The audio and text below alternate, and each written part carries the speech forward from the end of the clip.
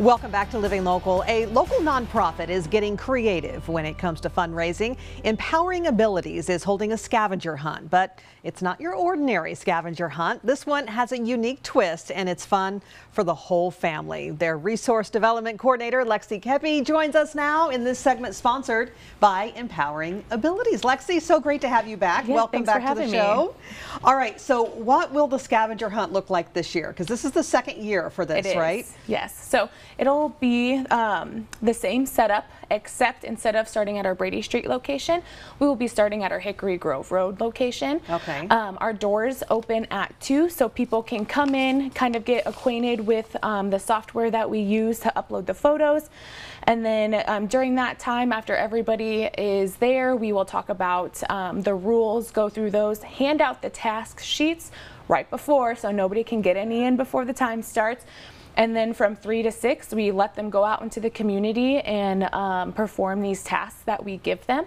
And then it ends right at six, so everybody has to be back by six. Okay. And then from six to seven, we do the food, we do the uh, beverages, and then the prizes. Okay, so let's talk about some of those tasks. Yeah.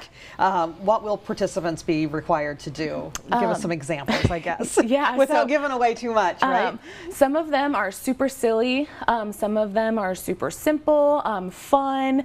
And um, one example is, you know, take a photo of a team member hanging upside down on the monkey bars, Gotcha. or take a video of your team singing uh, "Summer Nights on the Bleachers." So something that's that's fun and, and gets the whole team involved in it. oh, that does sound like fun. And these are all different from last year. They're They not have- all different, but some. But we have actually added a lot more tasks because Ah.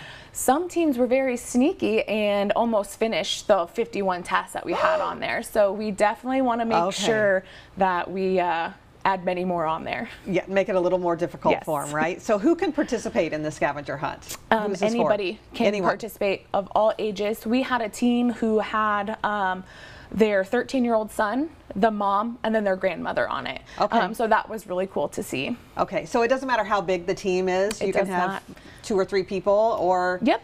As many as how many? Of, uh, what's the max you've ever had? Six. Okay. So we do not let anybody um, have a team past six, only because six is generally um, the amount of people that you can fit in a vehicle. Um, Okay. Most people have those family-sized vehicles, so Right. we just don't want um, somebody to bring the bus and riding on top of the vehicle to try to get from task to task. And anybody of all abilities can perform um, this scavenger hunt as well. I, I love that. I love that. It's for everyone. So you mentioned prizes. So let's talk about what viewers could end up winning possibly. Yeah, so our first place prize, um, we have like a tailgating basket that we're giving away, along with six Iowa Hawkeye tickets um, and um, $50 in gas gift cards for them to get to the game, along with some snacks and stuff.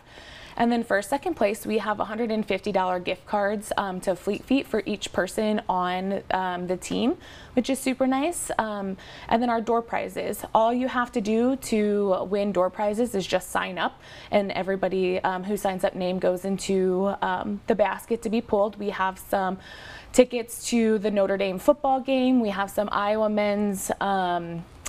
Basketball tickets and then we Oh. also have um, this really cool beach chair and umbrella and a, um, a, uh, a s- some sweet tickets to um, the River Bandits game um, and stuff like that so some fun stuff Great prizes Yeah. for sure, for sure. How do people register then? People can go What's to our process? website. Um, when they go to our website and they click on um, the events, it will have a link to take them to our registration site. And and they get something if they register too, right? Is They that- do. Okay. This nice, bright orange shirt that people can see out in the community. Um, it says Empowering Abilities Hunt on it. Um, and that also gains them access to complete the event um, and participate in it, and then also food, beverages, and a chance to win the prizes at the end of it. I love that. Okay, so let's talk about the money that is raised. So Mm-hmm. how does that help with you guys? Yeah, um, any event that we do um, helps in any sort of way, um, helps serve the individuals that we serve every single day.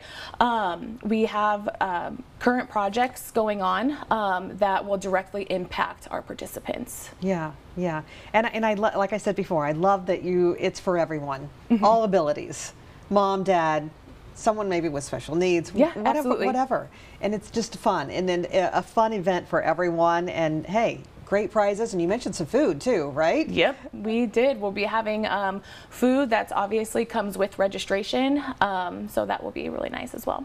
Awesome. Well, Lexi, it has been a pleasure. Good luck with Yeah, the thank event. you. Thanks for coming on again this year. Yeah, thanks for having me. All right, again, this segment was sponsored by Empowering Abilities, and you can learn more when you visit empoweringabilities.org. We'll also have all those details posted on ourquadcities.com.